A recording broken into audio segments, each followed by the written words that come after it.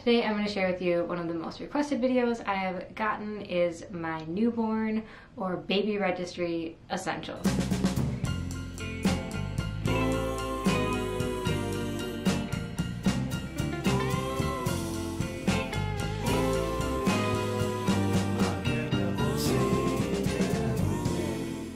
So my approach when registering for our first child was really to only register for what I'd need in the first like about four months. And the reason for that was like I just didn't want to have a ton of stuff around me that I had to wait like six months to use.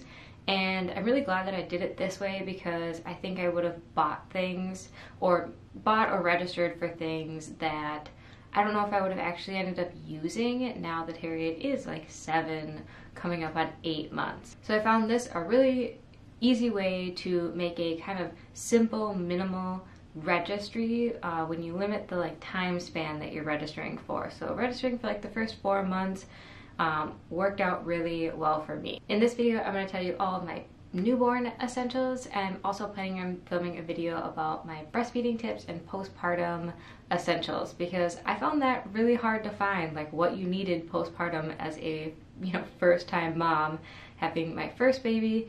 I wasn't really sure what I needed so I'm going to do a video uh, about that. And once it's uh, live I'll leave it in the cards or in the description box link below. All of this stuff is going to be linked in the description box below. I'm going to try and link them all in, out separately, but I also have like an Amazon um, kind of like shop page where I have collected all of my baby essentials that I have on Amazon, which is probably about like 90% of the stuff you can get on Amazon, um, all in one spot. So you can click the like Amazon shop my baby essentials in the description box below.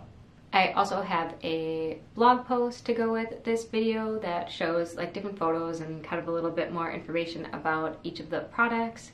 Um, so take a look at that. I'll leave that also linked in the description below. But now on to my newborn essentials. So I'm gonna start you off with probably my number one favorite thing. Well, okay, this is hard because I have a lot of favorite things, but there's probably like two things that are like my top, top newborn needs.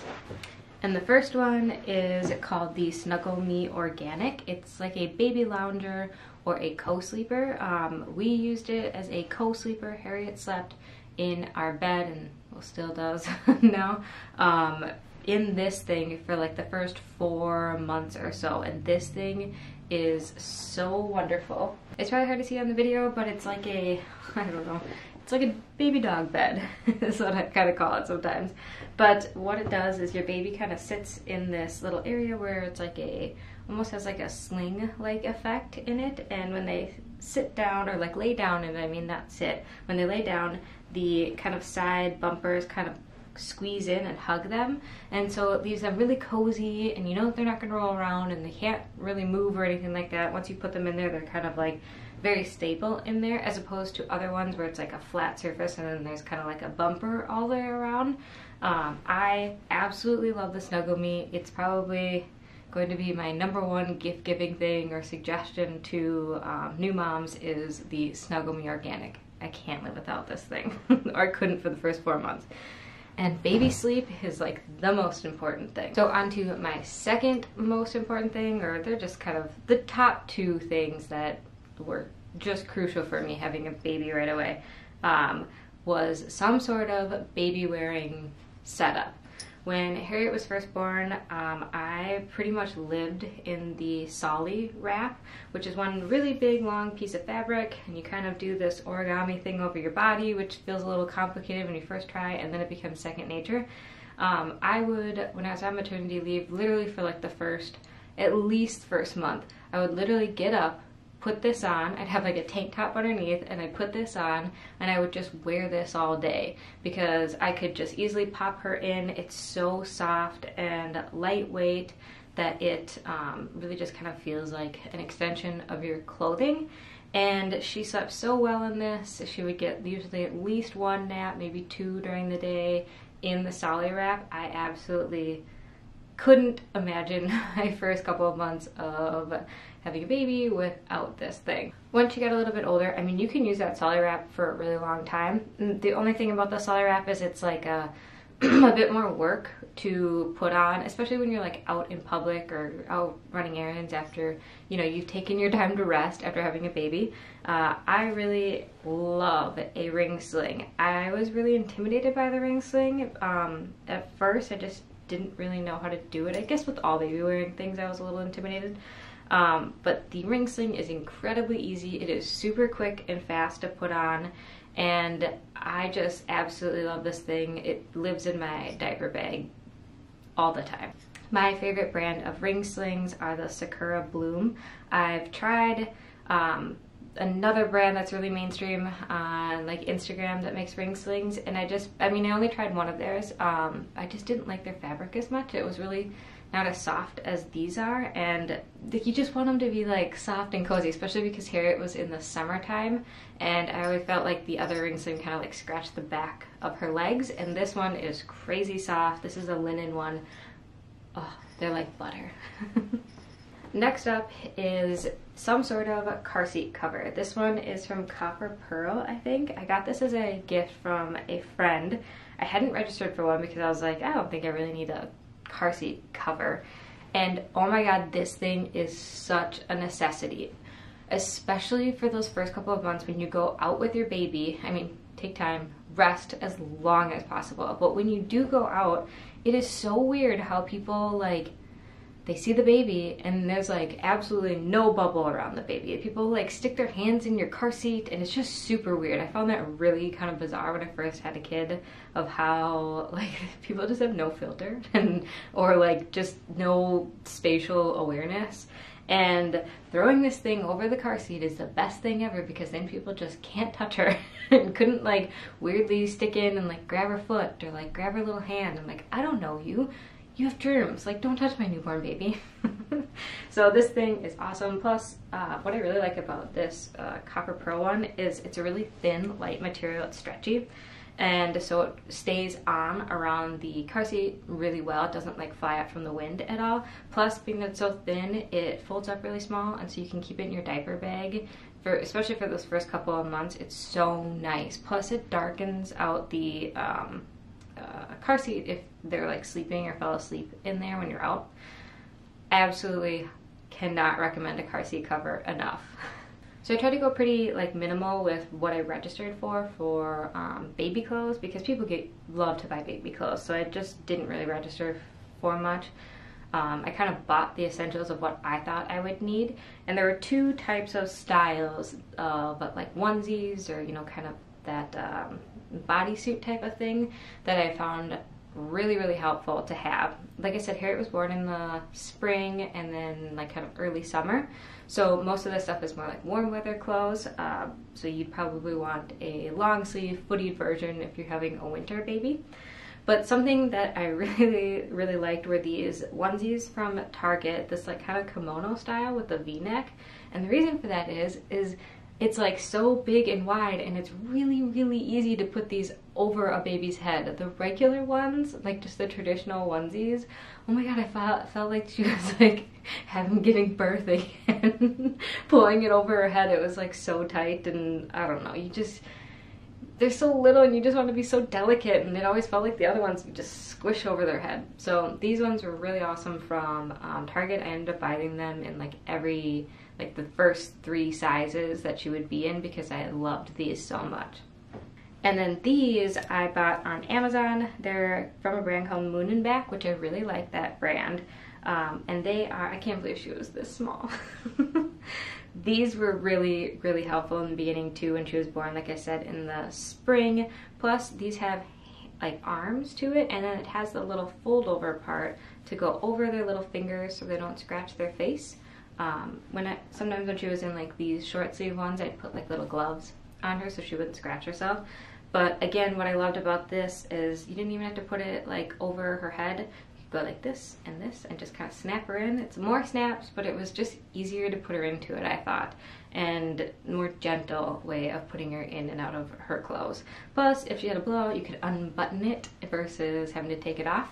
Also, I learned like a life hack with regular um, like onesies is instead of pulling it up over their head if they have a blowout, you pull it from their shoulders down. Blew my mind. so the two like sleep sacks, sleep swaddle, swaddle things that I used, um, I tried a regular blanket. That was not going to work for me. Harriet got out all the time. I was not good at it. It just didn't work. um, so what instead we ended up using were a combination of these two uh, sleep sack swaddle type of thing. In the very, very beginning, Harriet had just didn't like to have her arms down. Like she liked to be like this all the time. It was just like this. I posted something I remember on Instagram, and a girl that I know from college actually wrote me and said, You have to get the Love to Dream swaddle because it's like it's like a little baby starfish, but it uh, holds their little arms in like this up top. And oh my god, this thing saved my life.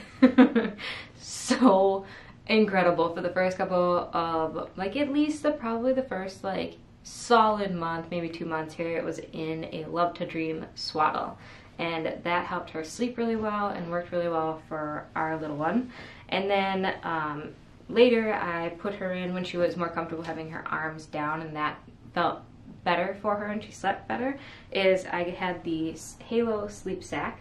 Uh, I really liked these. I like just the cotton ones versus the like other muslin ones. I don't know. They have a couple different fabric options but for her in the summer, the like traditional cotton ones worked really well.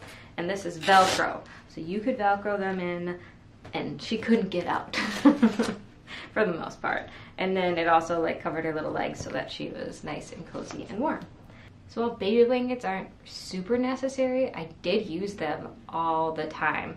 I really like um, having some muslin blankets on hand. My personal favorite in brands is the ones from Little Unicorn.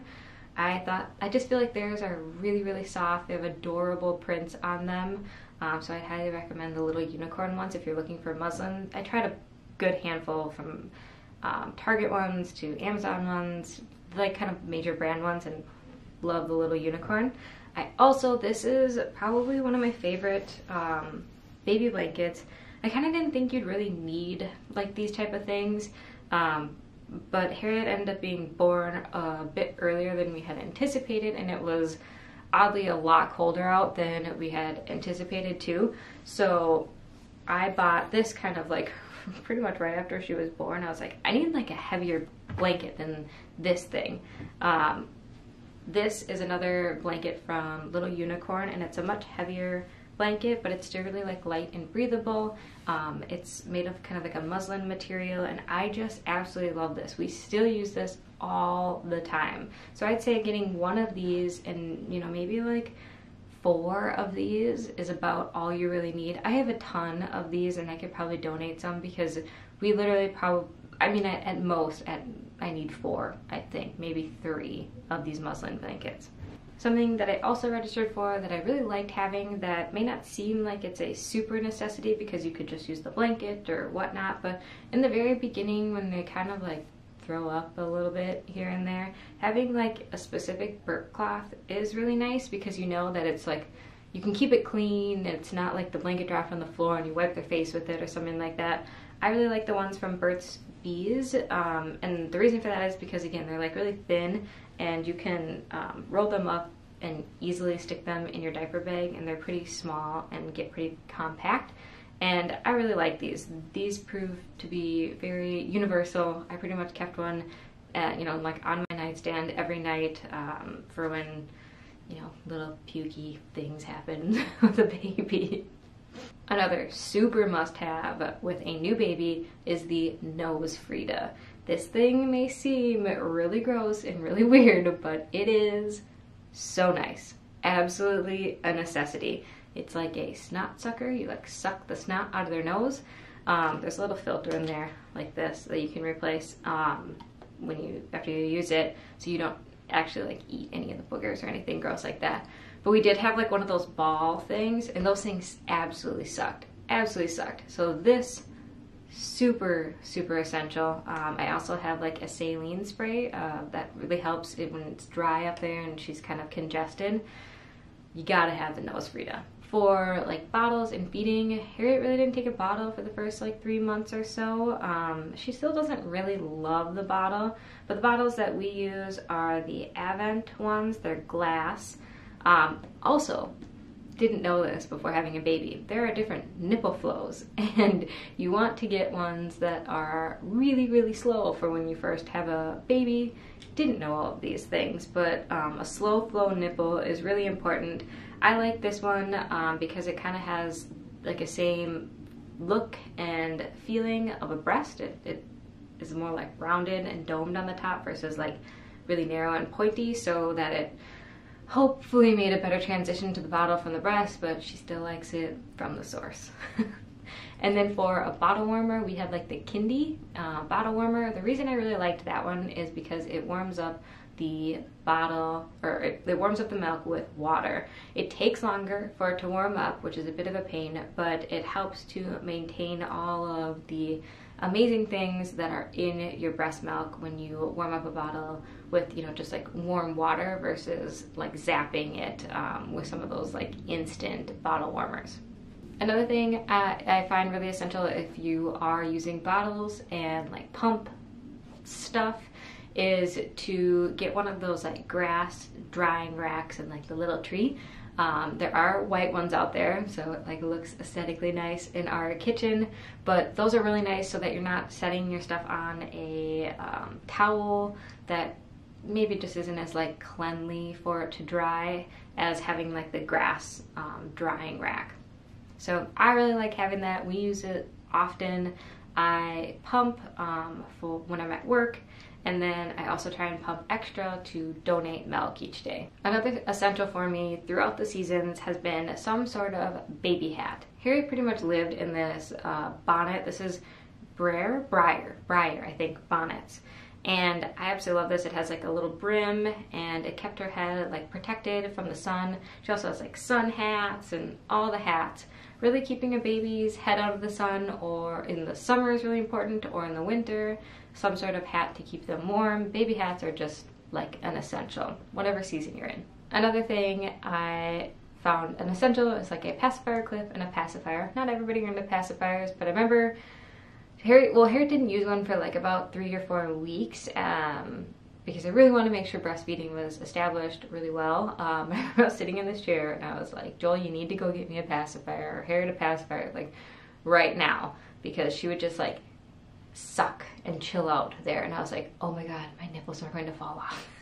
so we went and got the Soothie pacifier. That worked really well for us for the first couple of uh, months or so.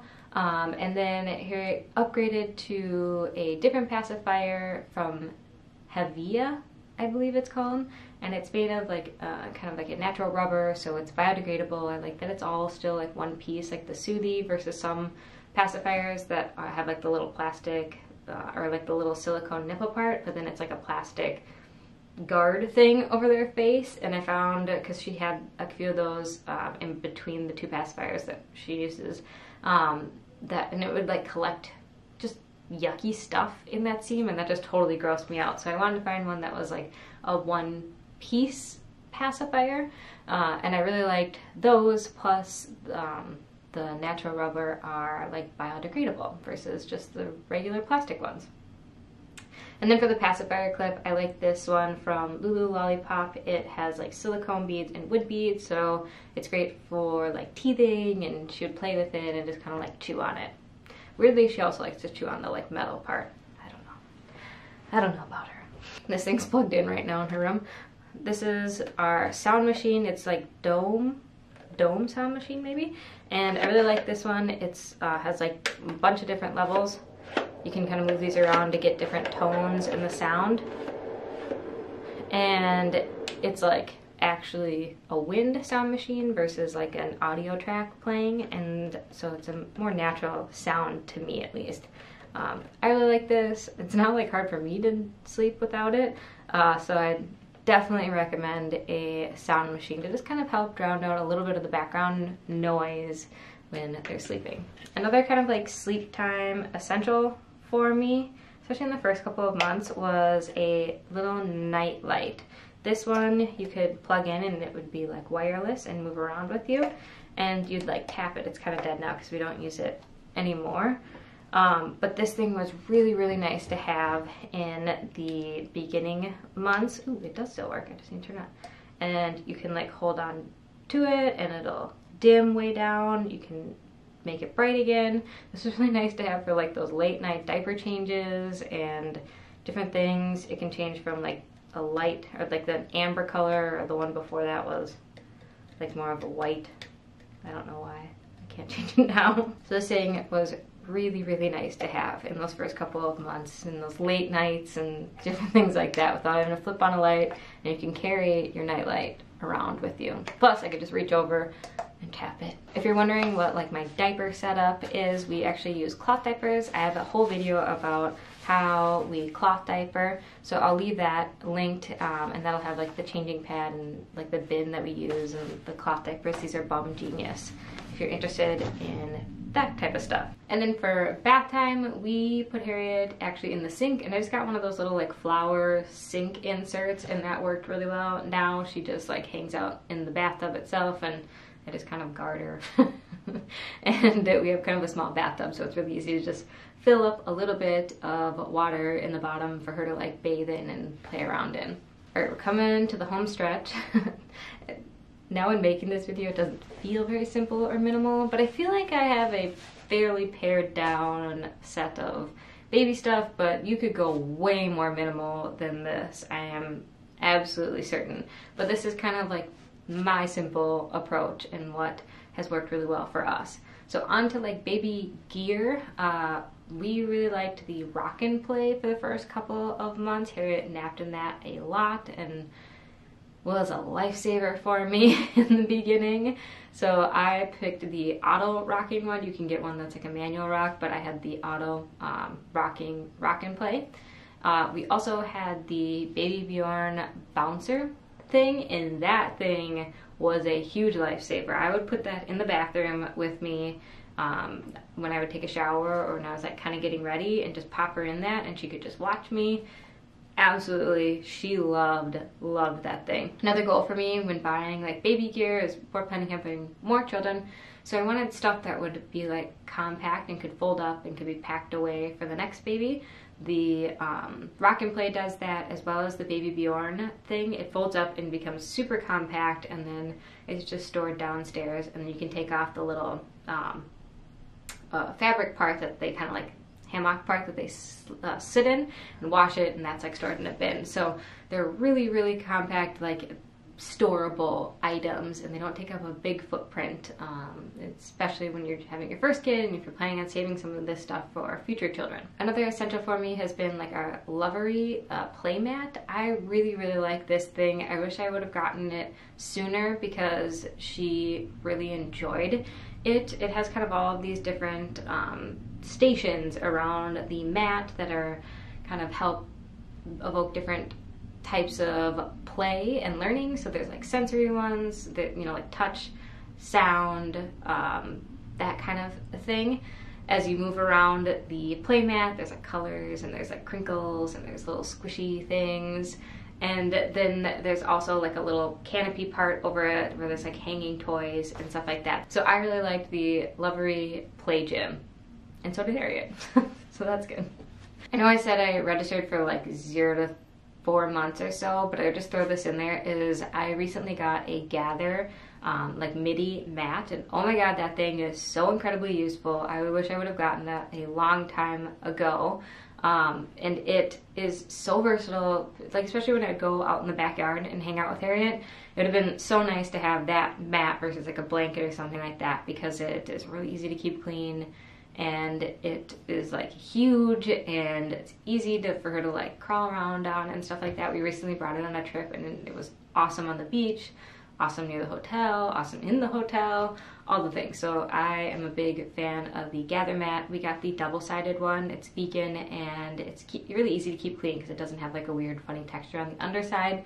They're both like that kind of faux leather thing on the surface. Whew, okay. And then lastly, we have a stroller and a car seat. Uh, car seat is essential, of course. We got the Mesa car seat from UPPAbaby because we also have the UPPAbaby Vista uh, stroller. Absolutely love that thing. Like, love, love the stroller. Joel loves the stroller. The stroller is just great. Um, the bassinet portion, Harry wasn't super into like the bassinet version of the car seat or the stroller right away. When they're baby, they have to like lay flat, which I totally get. And she was in that for probably the first two months that way. But she just hated it, like hated it laying flat. so I went online, did some research. Turns out there is actually a baby insert for the like rumble seat that thing was so worth the money. I would put her in that and you couldn't recline them so pretty far back and it helps to like stabilize their head. It's much more cushy and comfortable for them in there when they're young. Like I think you can use that from like two to four months. Um, and that was a huge lifesaver for us um, because she was she would just cry and cry on walks in that flat bassinet thing.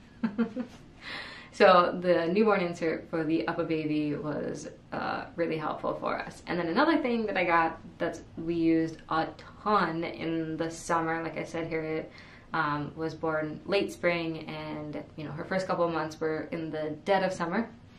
And here in Minnesota, it can be really hot and humid. I went on Amazon and I found this clip-on battery-powered fan and we used the heck out of that in her stroller because like I said it would get really hot and that helped to kind of like circulate some air for her and kept her from like getting really warm in her whether it was like the uh, car seat when we popped that into the base or the actual um, seat itself. Alright, so that is it. That's kind of a lot of things for being a simple, minimal approach to a baby registry, but I really tried to kind of give you a good idea of the things that we actually used for the first couple of months of her life. I'm also planning on doing another video about like baby food and like kind of her eating essentials now that she's into eating food and solids and stuff like that. So I'll have that video, like how I make my baby food and that type of stuff coming out soon. Um, when it's up, I will link it down below and in the cards. Um, but yeah, I hope you guys enjoyed this video. I know you guys have requested this so, so much. So I hope you found it useful and I wish you the best of luck if you're a new mom or mom to be. It's kind of crazy the first couple of months. It's like literally sheer survival the first month. The second month, you're like, okay, I'm kind of coming out of the fog. Like maybe I can rejoin society. And then like the third month, I felt like it got a lot better. And the fourth month, you're like, yeah, I'm doing this. I'm good. So just hang in there. It's gonna be great if you are still pregnant and wondering what to buy. Um, just, you know, you don't have to go crazy. Just get what you think are gonna be your essentials. Literally, Amazon can deliver anything pretty much in two days. And yeah, I don't know. That's just my little like token of wisdom, I guess. Um, so thank you guys so much for watching this. I hope you enjoyed it. I hope you found it useful. Um, would love to know your feedback and what some of your essentials are that I didn't cover um, because this is just like what works for us in our lifestyle. So that can kind of shift for different people. I think I watched like probably 400 of these videos when I was pregnant looking for like the essentials. So yeah, I hope that um, you found this video helpful and maybe found some things that you think will work for you and your baby. Thanks so much for watching, and I'll see you in my next one.